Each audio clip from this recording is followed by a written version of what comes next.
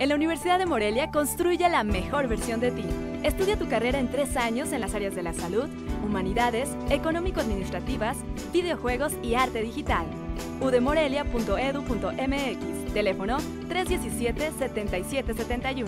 Jesús Reina García rindió protesta como gobernador interino de Michoacán ante el Pleno de la 72 legislatura en sesión solemne del Congreso del Estado.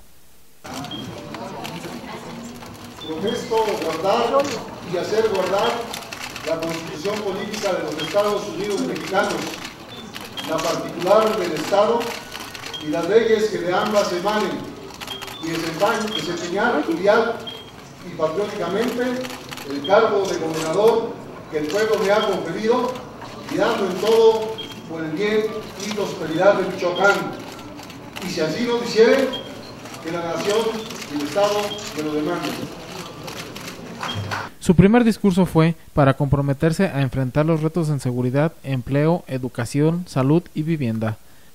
Todos queremos un Michoacán con educación de mayor calidad, con derechos plenos a la salud, con más empleos y mejor seguridad, para que todos los michoacanos decidamos nuestro propio destino, sin estar amagados ante la situación de inseguridad y violencia. Desde la tribuna parlamentaria, Jesús Reina García hizo un llamado a la sociedad michoacana a cerrar filas sin importar religiones y colores partidistas, solo en el beneficio de Michoacán. Es tiempo de unirnos en un mismo propósito.